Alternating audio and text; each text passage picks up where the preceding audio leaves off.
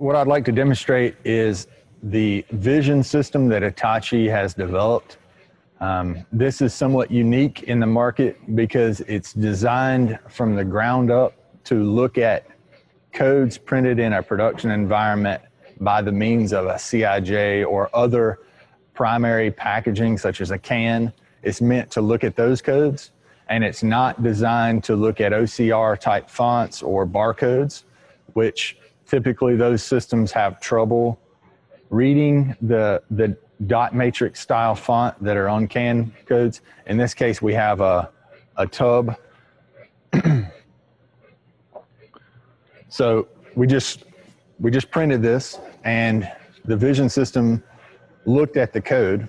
And if we look here at this screen, what the vision system is doing is it's isolating each character and it's establishing a grade for each character. So because it's looking at a dot matrix code, in this case printed by a CIJ, it allows us to understand lots of information. One, it allows us to understand if the print head might be getting dirty. This is important because as the print head gets dirty, the legibility of the code decreases.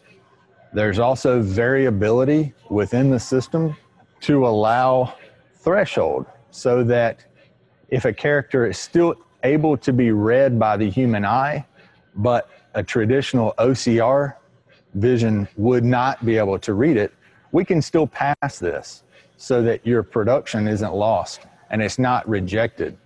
So our goal is to maximize your output by not falsely rejecting a product via this unique vision system. I would say in the end, our goal with the vision system in compilation with our inkjet printer is that codes leaving your facility have a verification that they're able to be read by the human eye and they're clear and legible.